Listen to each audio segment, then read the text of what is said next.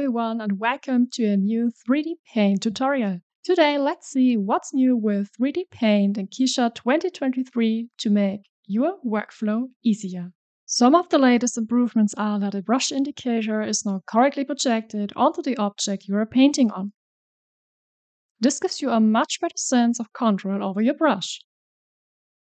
Also, the set brush angle is displayed correctly in the brush settings so that you know exactly how the brushstroke will appear once applied to the object.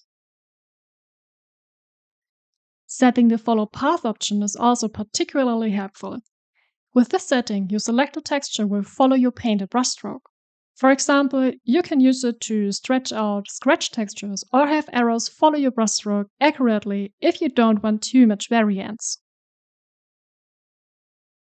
In addition, Keyshot has introduced a long-awaited feature of pressure sensitivity, which you can use if you are working with a pressure-sensitive tablet. This can be activated next to the size, opacity, and flow parameters in the settings of the 3D Paint texture.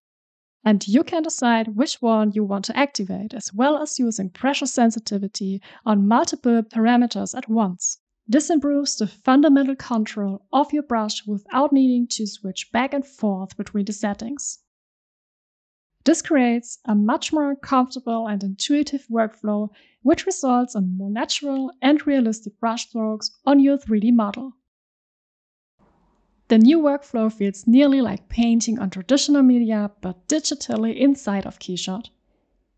With the addition of pressure sensitivity, it is much more easier to have control over a wide range of inputs like color, roughness, opacity, bump, and more on different materials.